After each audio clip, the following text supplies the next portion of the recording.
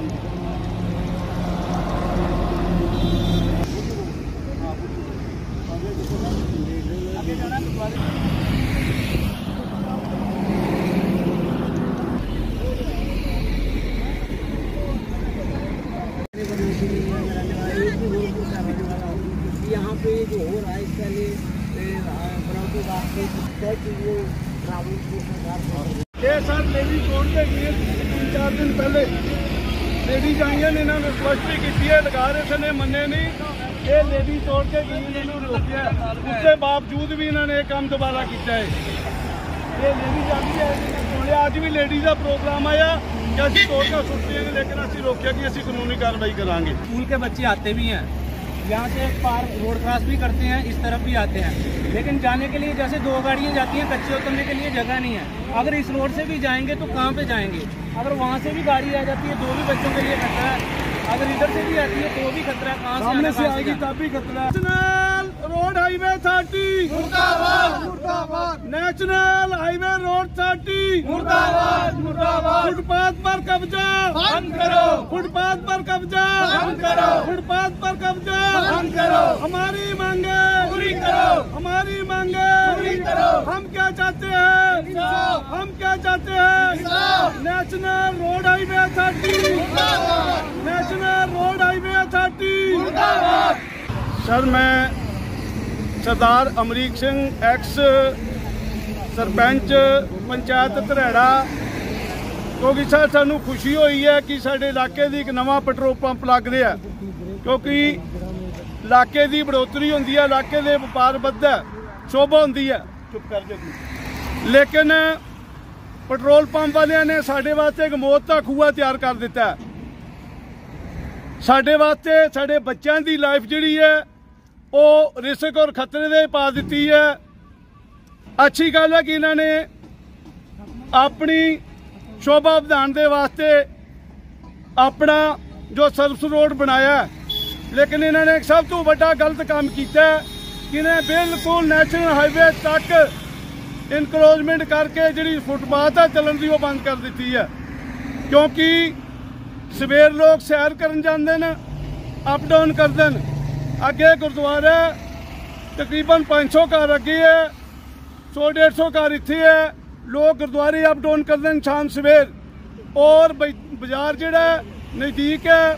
ਔਰ ਰੋਜ਼ਮਰਾ ਜ਼ਿੰਦਗੀ ਦੇ ਕੰਮਾਂ ਦੇ ਵਾਸਤੇ ਡੇਲੀ ਹਰ ਆਦਮੀ ਦੋ ਚਾਰ ਵਾਰ ਮੂਵ ਕਰਦਾ ਅਪ ਡਾਊਨ ਕਰਦਾ ਛੋਟੇ ਬੱਚੇ ਜਿਨ੍ਹਾਂ ਦੇ ਸਰਕਾਰੀ ਸਕੂਲ, ਆਮ ਗਰੀਬ ਬੱਚਿਆਂ ਦਾ ਸਰਕਾਰੀ ਸਕੂਲ ਬਰਨੋਟੀ ਹੈ ਜੂਨੀਅਰ ਅਕੈਡਮੀ ਅੱਗੇ ਹੈ। ਆਮ ਬੱਚੇ ਜਿਹੜੇ ਨਾਰਮਲ ਸਕੂਲਾਂ ਦੇ ਪੜ੍ਹਦੇ ਨੇ, ਜਿਸ ਕਰਕੇ ਬੱਚੇ ਪੈਦਲ ਅਪ ਡਾਊਨ ਕਰਦੇ ਨੇ ਔਰ ਸ਼ਾਮ ਨੂੰ ਬੱਚੇ ਟਿਊਸ਼ਨ ਪੜ੍ਹਨ ਜਾਂਦੇ ਨੇ। ਕਈ ਵਾਰੀ ਵਾਪਸੀ ਰਾਤ ਨੂੰ ਬੱਚੇ ਇਕੱਲੇ ਆਉਂਦੇ ਨੇ। ਪੇਰੈਂਟਸ ਨਾਲ ਨਹੀਂ ਹੁੰਦੇ।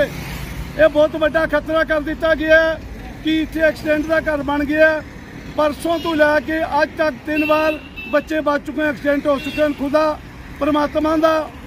ਚਲੋ ਫਜ਼ਲ ਹੈ ਕਿ ਕਿਸੇ ਦਾ ਨੁਕਸਾਨ ਨਹੀਂ ਹੋਇਆ। ਇਸ ਕਰਕੇ ਅਸੀਂ ਕਾਨੂੰਨ ਹੱਥ ਨਹੀਂ ਲੈਣਾ ਚਾਹੁੰਦੇ। ਅੱਜ ਪਬਲਿਕ ਦਾ ਪ੍ਰੋਗਰਾਮ ਸੀ, ਇਹ ਸਾਰਾ ਕੁਝ ਤੋੜਨ ਦਾ, ਜੇਸੀਬੀ ਫੇਰਨ ਦਾ। ਲੇਕਿਨ ਪਬਲਿਕ ਨੂੰ ਮੈਂ ਰੋਕਿਆ ਕਿ ਅਸੀਂ ਕਾਨੂੰਨ ਹੱਥ ਨਹੀਂ ਲੈਣਾ। ਅਸੀਂ ਚੈਨਲ ਥਰੂ, ਮੀਡੀਆ ਥਰੂ ਔਰ ਥਰੂ ਐਡਮਿਨਿਸਟ੍ਰੇਸ਼ਨ ਇਹ ਕਾਰਵਾਈ ਕਰਨੀ ਹੈ।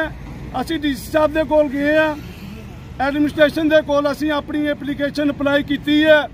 ਡਿਵਕਮ ਸਾਹਿਬ ਨੂੰ ਭੇਜ ਦਿੱਤੀ ਹੈ ਜੰਮੂ ਔਰ ਇੱਕ ਐਪਲੀਕੇਸ਼ਨ ਅਸੀਂ ਜਿਹੜੀ ਹੈ ਨੈਸ਼ਨਲ ਹਾਈਵੇ ਅਥਾਰਟੀ ਨੂੰ ਭੇਜ ਦਿੱਤੀ ਹੈ ਕਿ ਜਿਸ ਨਕਮੀ ਔਰ ਨਕਾਰੀ ਨੈਸ਼ਨਲ ਹਾਈਵੇ ਅਥਾਰਟੀ ਨੇ ਇਹ ਕੰਮ ਕਰਨ ਦਿੱਤਾ ਕਿਉਂਕਿ ਬਾਜ਼ਾਰ ਦੁਕਾਨਾਂ ਦੇ ਵਿੱਚ ਲੋਕ ਥੋੜੀ ਥੋੜੀ ਅੱਗੇ ਥੜੇ ਬਣਾਉਂਦੇ ਉਹ ਵੀ ਤੋੜ ਦਿੱਤੇ ਗਏ ਜਾਂਦੇ ਨੇ।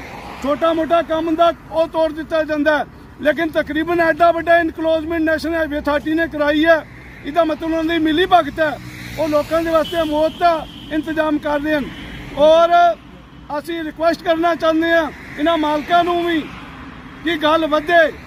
ਅੱਛੀ ਗੱਲ ਹੈ ਕਿ ਆਪੇ ਇਸ ਨੂੰ ਖਤਮ ਕਰਨ, ਕਿਉਂ ਪਰਲੀ ਤਰਫ ਵਾਲੀ ਬਨੇਰੀ ਜਿਹੜੀ ਹੈ, ਉਸ ਨੂੰ ਖਤਮ ਕੀਤਾ ਜਾਏ। ਅੰਦਰ ਵਾਲੀ ਦੇ ਅੰਦਰ ਜੋ ਕਰਨਾ ਚਾਹ ਜਿਹੜੀ ਗੱਲ ਕਹੀ ਜਾ ਰਹੀ ਹੈ ਜੀ, ਅੰਦਰੋਂ ਐਂਟਰ ਕਰਨ। ਹੋ ਸਕਦਾ ਬੱਚਾ ਚਲਦਾ ਆ ਰਿਹਾ ਮੋਟਰਸਾਈਕਲ ਵਾਲਾ ਆ ਰਿਹਾ ਉਹ ਦੇਖ ਰਿਹਾ ਰੋਡ ਖਾਲੀ ਹੈ ਦੂਜੀ ਸਾਈਡ ਲੰਘ ਰਿਹਾ ਤੇਲ ਪਵਾ ਕੇ ਅਚਾਨਕ ਕੋਈ ਸਪੀਡ ਵਿੱਚ ਆਪਣੇ ਮੂਡ ਵਿੱਚ ਨਿਕਲ ਰਿਹਾ ਅੱਗੋਂ ਕੋਈ ਆ ਰਿਹਾ ਤਾਂ ਵੀ ਇੱਥੇ ਐਕਸੀਡੈਂਟ ਦਾ ਖਤਰਾ ਇਸ ਕਰਕੇ ਸਾਡੀ ਰਿਕੁਐਸਟ ਹੈ, ਡੀਸੀ ਸਾਹਿਬ ਦੀ ਅੱਗੇ ਔਰ ਨੈਸ਼ਨਲ ਹਾਈਵੇ ਅਥਾਰਟੀ ਦੇ ਅੱਗੇ ਕਿ ਮਿਹਰਬਾਨੀ ਕਰਕੇ ਇਸ ਕੰਮ ਨੂੰ ਰੋਕਿਆ ਜਾਏ, ਇਹ ਇਨਕਲੋਜ਼ਮੈਂਟ ਖਤਮ ਕੀਤੀ ਜਾਏ। ਅਸੀਂ 5 ਦਿਨ ਦਾ ਆਪਣੀ ਐਡਮਿਨਿਸਟ੍ਰੇਸ਼ਨ ਨੂੰ ਟਾਈਮ ਦਿੰਦੇ ਆ ਥਰੂ ਮੀਡੀਆ ਕਿ ਸਾਡੀ ਗੱਲ ਪਹੁੰਚਾਈ ਜਾਏ। ਕਿ ਅਗਰ 5 ਦਿਨ ਦੇ ਅੰਦਰ ਅੰਦਰ ਇਸ ਕੰਮ ਤੇ ਕਾਰਵਾਈ ਨਹੀਂ ਹੋਈ, ਤੇ ਫਿਰ ਅਸੀਂ ਇੱਥੇ ਹੀ ਨੈਸ਼ਨਲ ਹਾਈਵੇ ਦੋਨਾਂ ਤਰਫਾਂ ਤੋਂ ਨੈਸ਼ਨਲ ਹਾਈਵੇ ਜਾਮ ਕਰਾਂਗੇ। ਨੈਸ਼ਨਲ ਹਾਈਵੇ ਰੋਕ ਕੇ ਫਿਰ ਅਸੀਂ ਆਪਣੇ ਹੱਥੀ ਜੋ ਇੰਤਜ਼ਾਮ ਹੋਏਗਾ ਕਰਾਂ ਇੰਤਜ਼ਾਰ ਕਰਾਂਗੇ ਐਡਮਿਨਿਸਟ੍ਰੇਸ਼ਨ ਦਾ। ਅਗਰ ਪਹੁੰਚ ਕੇ ਡੀਟੀ ਸਾਹਿਬ, ਤਹਿਸੀਲਦਾਰ ਸਾਹਿਬ, ਅਗਰ ਇਹਦਾ ਕੋਈ ਫੈਸਲਾ ਕਰਨਗੇ ਨਹੀਂ ਕਿ ਅਸੀਂ ਉਸ ਵਕਤ ਇਸ ਨੂੰ ਤੋੜ ਕੇ ਸਾਈਡ ਕਰਾਂਗੇ। ਇਸ ਕਰਕੇ ਮੈਂ ਮੀ- ਮੀਡੀਆ ਬੰਧੂਆਂ ਦਾ ਬਹੁਤ ਬਹੁਤ ਸ਼ੁਕਰਾ, ਸ਼ੁਕਰੀਆ ਅਦਾ ਕਰਦਾ ਕਿ ਜਿਨ੍ਹਾਂ ਨੇ ਇੱਥੇ ਪਹੁੰਚ ਕੇ ਇਸ ਗੱਲ ਨੂੰ ਦੇਖਿਆ ਔਰ ਮੈਂ ਰਿਕੁਐਸਟ ਕਰਾਂਗਾ ਕਿ ਸਾਡੀ ਗੱਲ ਨੂੰ ਐਡਮਿਨਿਸਟ੍ਰੇਸ਼ਨ ਦੇ ਕੰਨਾਂ ਤੱਕ ਪਹੁੰਚਾਉਣ ਦੀ ਕਿਰਪਾਲਤਾ ਕੀਤੀ ਜਾਏ। ਸਾਡੀ ਲੇਡੀਜ਼ ਆਈਆਂ ਨੇ, ਉਸ ਵਕਤ ਜਦੋਂ ਲਗਾ ਰਹੇ ਆਏ ਇਹ। ਦੋ ਤਿੰਨ ਜਗ੍ਹਾ ਤੋਂ ਤੋੜੇ ਹੋਏ ਨੇ ਇਹ ਸਾਡੀ ਲੇਡੀਜ਼ ਤੋੜ ਕੇ ਗਈਆਂ ਨੇ। ਔਰ ਸਾਡੀ ਲੇਡੀ ਨੇ ਲੇਬਰ ਨੂੰ ਕਿਹਾ ਨੂੰ ਕਿਹਾ ਵੀ ਇਹ ਕੰਮ ਬੰਦ ਕਰ ਦਿੱਤਾ ਜਾਏ ਕਿਉਂਕਿ ਬੱਚਿਆਂ ਦੇ ਵਾਸਤੇ ਖਤਰਾ ਹੈ ਲੇਕਿਨ ਇਹ ਨਹੀਂ ਮੰਨੇ ਸੁਣਿਆ ਕਿ ਇਹਨਾਂ ਦੀ ਆਵਾਜ਼ ਆ ਰਹੀ ਹੈ ਕਿ ਅਸੀਂ ਨੈਸ਼ਨਲ ਹਾਈਵੇ ਤੋਂ ਪਰਮਿਸ਼ਨ ਲਈ ਹੋਈ ਹੈ ਇਸ ਕਰਕੇ ਅਗਰ ਪਰਮਿਸ਼ਨ ਵੀ ਹੈ ਤੇ ਨੈਸ਼ਨਲ ਹਾਈਵੇ ਸਾਨੂੰ ਦੱਸੇ ਜਵਾਬ ਦੇ ਕਿ ਸਾਡੇ ਵਾਸਤੇ ਮੋਤਾ ਖੂ ਤਿਆਰ ਹੋ ਰਿਹਾ ਹੈ ਕਿਸ ਲੈਵਲ ਤੇ ਪਰਮਿਸ਼ਨ ਦਿੱਤੀ ਗਈ ਹੈ दलजीत सिंह है जी कम्युनिटी का ही रहने वाला हूँ हमारे घर के भी काफ़ी बच्चे हैं जहाँ हमारे पूरे मोहल्ले के जो सोसाइटी है, सबके बच्चे यहाँ से आते जाते हैं। कोई छोटे बच्चे साइकिल लेके आते हैं, कोई पैदल जाते हैं, कोई स्कूल जाते हैं, कोई ट्यूशन जाते हैं। हमें साथ में बाज़ार पड़ता है बरनोटी। सभी लोग मैक्सिमम अप डाउन पैदल करते हैं यहाँ पे। लेकिन अभी ये इच्छा है कि अभी जैसे गाड़ियाँ डबल क्रॉसिंग करती हैं तो हमें कच्चे में उतरना पड़ता है। अभी हमारे पास कच्चे में उतरने के लिए भी जगह नहीं है। अगर हम इस रोड से जाते हैं तो उधर से भी अचानक से गाड़ियाँ आ जाती हैं, हमारे लिए जगह ही नहीं बची चलने के लिए। तो इसलिए हमारी रिक्वेस्ट है एडमिनिस्ट्रेशन से कि भाई इस चीज़ को ख़त्म किया जाए और हमें मतलब ये जो हमारी फैसिलिटी है हमारा राइट है हमें प्रोवाइड करवाया जाए थैंक यू